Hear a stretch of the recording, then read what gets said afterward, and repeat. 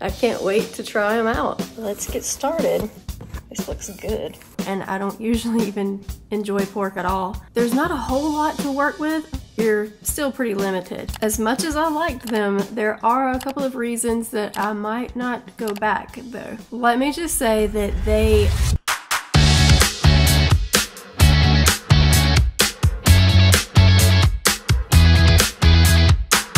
I'm Crystal and today I am unboxing a new to me company. It's Pete's Real Food. I ordered their autoimmune protocol plan. I can't wait to try them out. Box is a little smaller than I expected. Usually I end up having to put the box on the floor and open it to check it out from there, but I can leave it on the counter today. Let's get started. Here is the list of what I ordered. Open it up. There is insulation here. So let's see what we have. Ice pack. This looks good. The garlic and herb turkey roulade with apples, onions, and roasted yams. Ah, more turkey. It's just after Thanksgiving, so lots of turkey. This is the thyme roasted turkey with artichoke and fennel, roasted rutabaga. This is the thyme roasted turkey with artichoke and fennel barigoule. I'm sure I mispronounced that word. And roasted rutabaga. Then we have balsamic braised pork with acorn squash and kale. I am a sucker for squash and kale if you haven't been able to tell yet. And there's this chicken sausage with mashed sweet potato and gravy. And looks like the last one, this is roasted garlic grilled chicken with crispy garlic broccoli.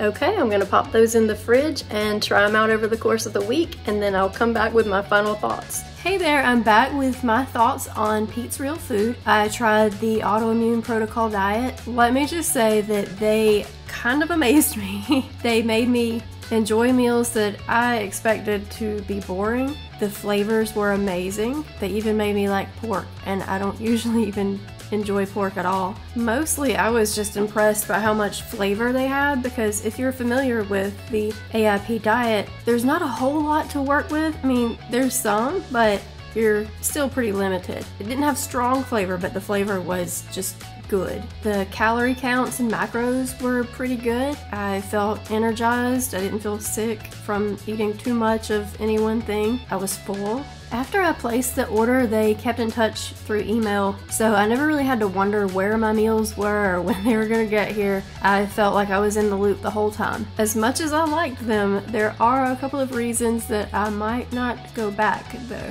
The number one is the shipping cost. This might not be a problem for everybody, but for me, they had to ship, I guess, from San Diego to the Atlanta area, and it was just a little bit over $40 to ship five meals. The meals themselves ranged from 16 to $19, and then with the shipping costs and all of the state and county taxes based on where I live, the meals actually came out to be about $27.10 each.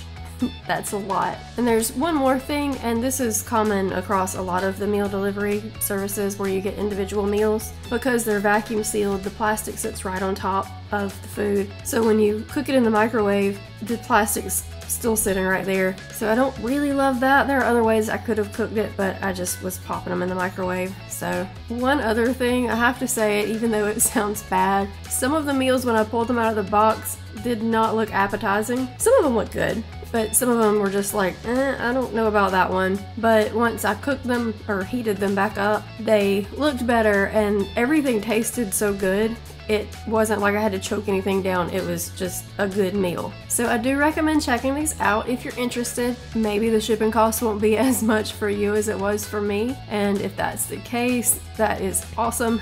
I definitely recommend checking them out, especially if you're looking for um, an autoimmune diet menu. There aren't a whole lot of them out there that I've seen anyway. I'm still just amazed by how much they could do with the limitations of the autoimmune protocol. I am impressed. So if you like videos like this and you want to see more, don't forget to like and subscribe.